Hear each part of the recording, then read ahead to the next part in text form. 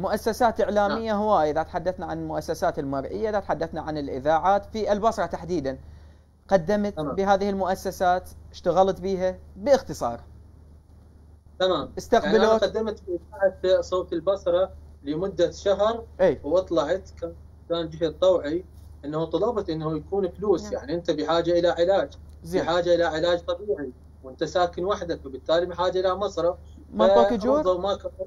يعني علي كان عنده إمكانية كبيرة جدا أفضل من المقدمين فكان ماكو هناك دعم. أنا طلعت وبعض الأفكار ما توافقنا أنا والمدير فتركت العمل. وحاليا من 2014 لسه راح أقول شيء ولا زعلوا من عنده نسبه كبيرة جدا. علي.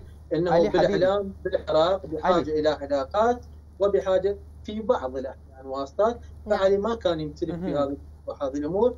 فظلت من 2014 لسه على مواقع التواصل الاجتماعي والحمد لله يعني قطعت مشوار كبير جدا في هذا.